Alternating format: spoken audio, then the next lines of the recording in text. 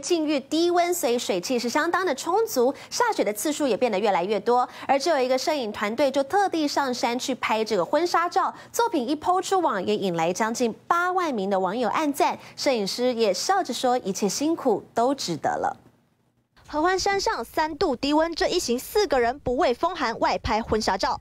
动作多一点，动作多给我一点，抓过来，抓过来。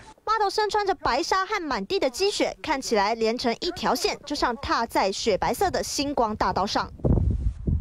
一直做就好了，对，不要一直做，你要等我们快完成。好，下一个，好，再再来一个。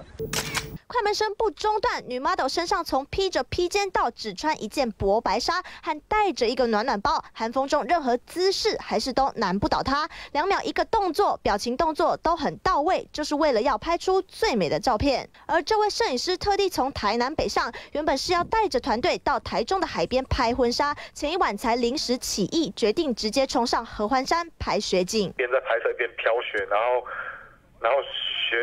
雪都会融化在镜头上面变成水，对，然后又一直起大雾。经历两小时的拍摄，也幸运的遇上飘雪。摄影师把作品放到脸书上，马上引起热烈的讨论，更是吸引七万多名的网友按赞。他也笑说，虽然拍摄时很冷，但看到成品后，觉得一切都值得。